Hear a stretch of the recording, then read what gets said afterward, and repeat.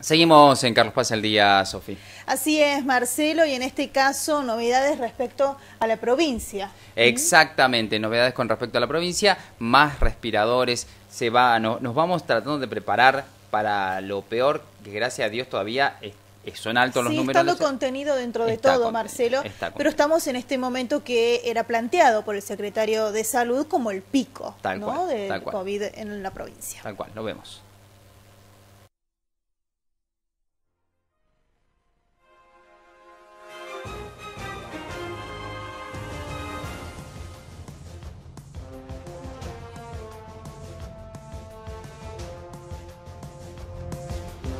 Con esto que incorporamos ahora, ya son 785 camas con respirador, contra las 326 que había al inicio de la pandemia.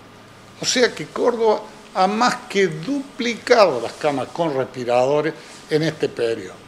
Y lo hacemos en un momento especialmente crítico, porque están aumentando los números de casos de coronavirus en todo el continente americano, en Argentina y en nuestra Córdoba también.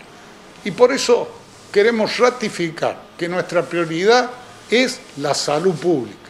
Nuestra defensa es de la salud y la vida de cada uno de los cordobeses. Vivan en el lugar de la provincia donde vivan. Pero precisamos también, en este momento crítico, que tomen más cuidado en las medidas de responsabilidad social.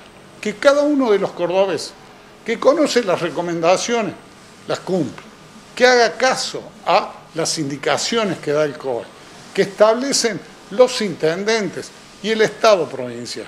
Esta es la manera de que esta pandemia afecte lo menos posible a nuestra Córdoba y a su gente.